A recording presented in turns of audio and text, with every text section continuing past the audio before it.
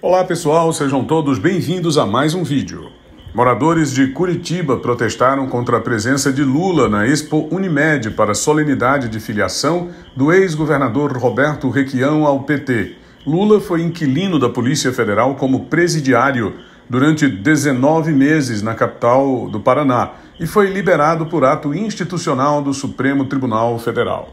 O condenado em liberdade teve que sair pelos fundos para não encarar a população curitibana que fez protesto contra sua presença no estado. O Lula tá saindo pelo fundo aqui, ó. A galera tá perdendo tempo aqui, tá saindo pelo fundo aqui, ó. A comitiva dele saindo pelo fundo aqui. Ah, ladrão!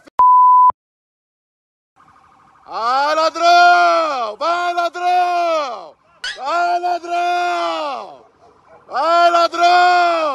Ai, petista ladrão! Ela saiu pelo fundo aqui. Vagabundo fugindo!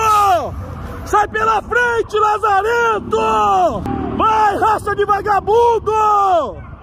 Raça de pilantra! Vagabundo!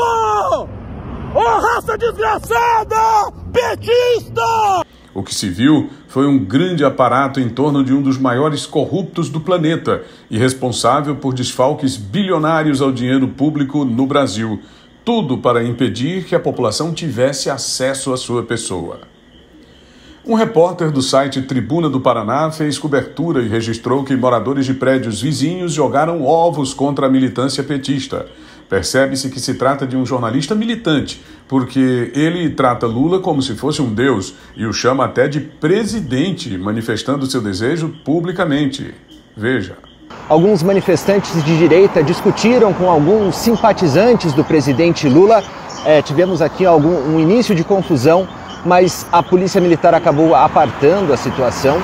Tivemos até um carro de som aqui dizendo, é, é, de, falando coisas contra o ex-presidente Lula e tivemos até alguns manifestantes pró-Lula dizendo que moradores da região jogaram ovos é, nas janelas, acertando algum dos, alguns dos correligionários do Partido dos Trabalhadores. A Tribuna do Paraná segue aqui é, esperando para ver se o, o carro de som vai voltar, se vamos ter mais alguns problemas por aqui, mas enfim, a situação parece estar um pouco mais tranquila por aqui é claro que a grande mídia tentará esconder esse fato e que o próprio PT vai dizer que foi um grande evento com presença popular incontestável.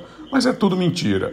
As imagens mostram a realidade de que Lula é persona não grata em Curitiba, assim como de resto em todo o Brasil, e que isso o impede de andar nas ruas porque, se o fizer, será vaiado na certa. Apenas para registrar. O site Tribuna do Paraná é vinculado ao Universo Online da Folha de São Paulo, que por sua vez tem uma simpatia declarada e gritante pelo pré-candidato do PT e condenado em liberdade. Eu sou Tony Rodrigues e aqui a verdade não tem censura.